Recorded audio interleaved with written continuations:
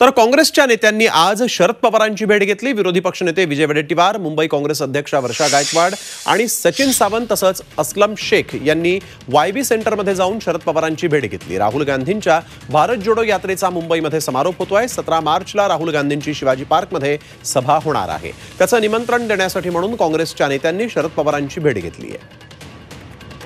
सोळा तारखेला संध्याकाळी साडेसहाला जी यात्रेची समाप्ती होणार आहे चैत्यभूमीवर तिथे सुद्धा शरद पवार साहेब उपस्थित राहणार आहेत.